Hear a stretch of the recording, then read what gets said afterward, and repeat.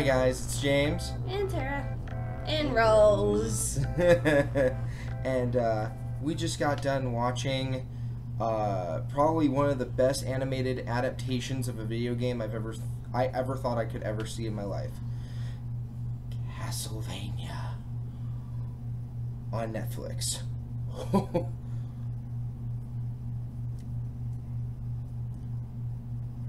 I'm going through nostalgia feels right now.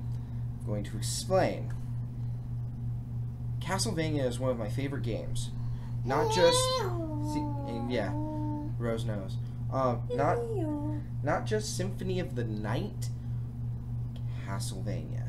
I am so deep in the lore, it's ridiculous. Um, so before we get get going any further, Monkey Butt, why don't you tell them what we're gonna do? That, that way. Yes. Hi, peoples.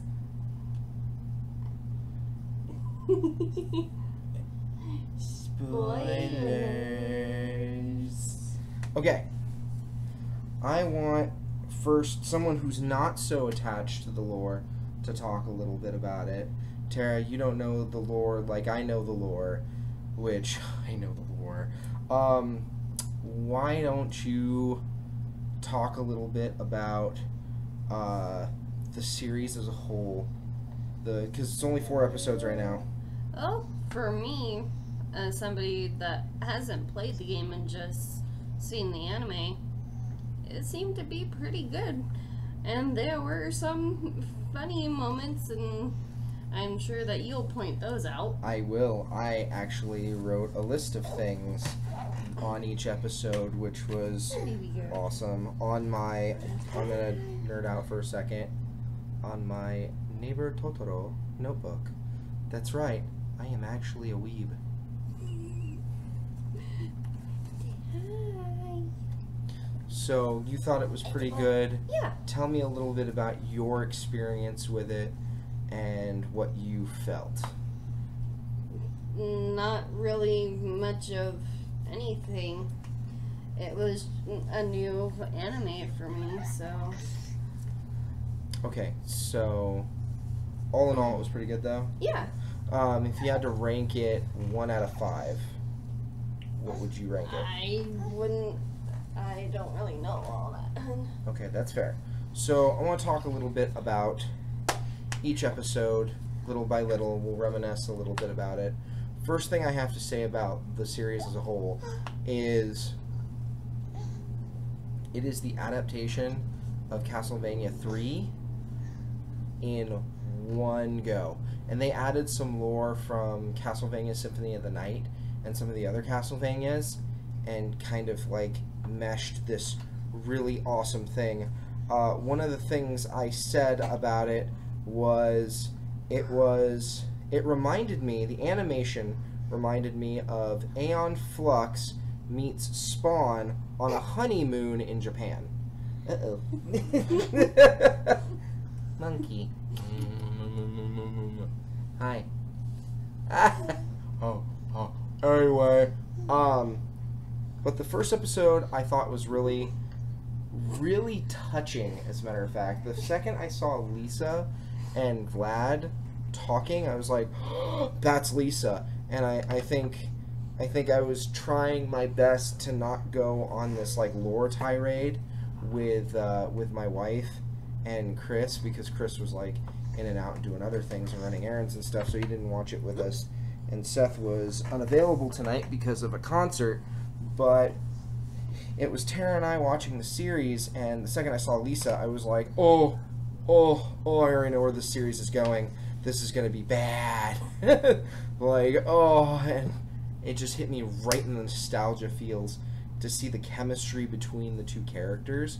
I was like, oh, I know what's gonna happen. And they literally did. I mean, they did one scene of build up, and I thought it was pretty good build up. And I have to say this about the first episode. You could tell they were struggling to fill airtime because I think they could have done more with Lisa and Vlad's relationship we know that she was going to get burned at the stake. It was a thing. Um, it, we knew, and seeing Alucard and Vlad and Lisa in this in the episode was like, holy crap, that was awesome. And yes, I'm looking, I'm looking at the notes. Uh oh. Uh oh, goes my phone. Uh, but um, that that was my one complaint because Lisa was burning for a very long time, and I felt like they were trying to fill airtime as if off a manga, which I don't think that was what they were adapting any of this off of. Um, I have a monkey on my shoulder. But, yeah, but those are mine. Feel fortunate that you don't need. Oh boy. Oh no no no no!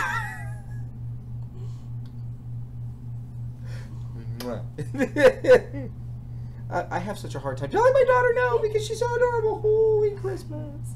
Um, any thoughts on episode one for you? Not really. I think mine kind of started at episode two. Okay, yeah. Um, so yeah, pros was the uh, the relationship building between that whole Sepesh family, and then the cons were why are you filling or trying to fill so much airtime up? Um, so episode two. One quote comes to mind. You haven't got your shovel. We meet Trevor right at the end of episode one. And uh, at the end of episode one, we get this very colorful description of a shepherd finding a guy laying with one of his sheep. So he hit him across the eyes with a shovel. Yeah. You haven't got your shovel. And that's when I started to really like see some world building going on is in episode 2 and 3. And I felt like okay, we're in like especially like some of the way people were talking like, "Oh, well, if you go to the town at sunset, blah blah blah blah." I'm like, "You're an NPC." and that's when I was like, "Oh my good gravy." We're we're watching Castlevania 3 unfold.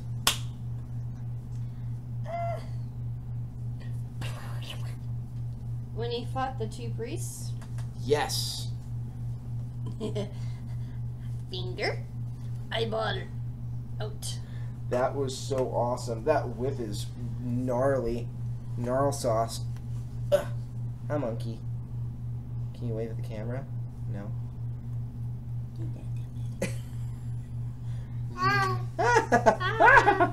so, um, episode three, um,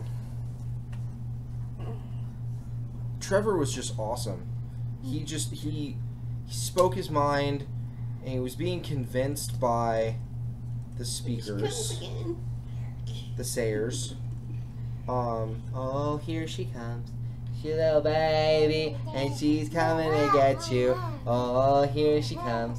She a little baby, and she coming to get you. Uh,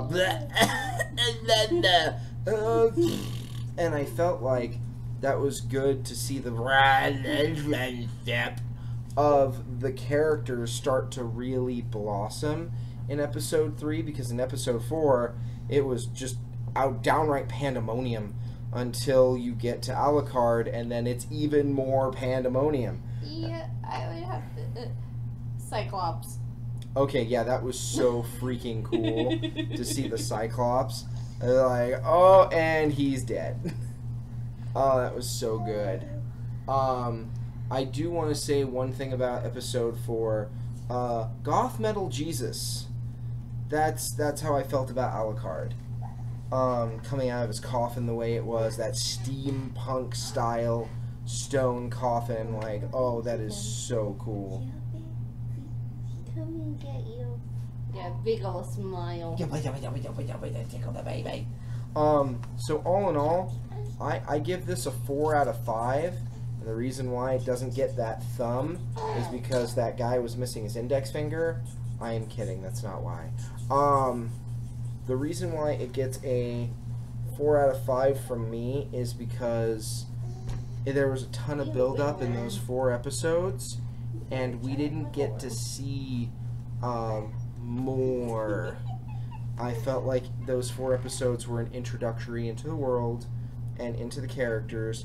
And even though it was an introductory into the world and into the characters, I feel like there should have been more introductory on some of the characters. Obviously, Alucard doesn't need an introductory, but uh, Cipher, Slifer, oh my goodness, it's been a long time since I played. Uh, I felt like her, like her culture got a really good like makeover, and we got to know her culture and her background a little better. But I feel like we could have known the characters more. And also, where's Grant?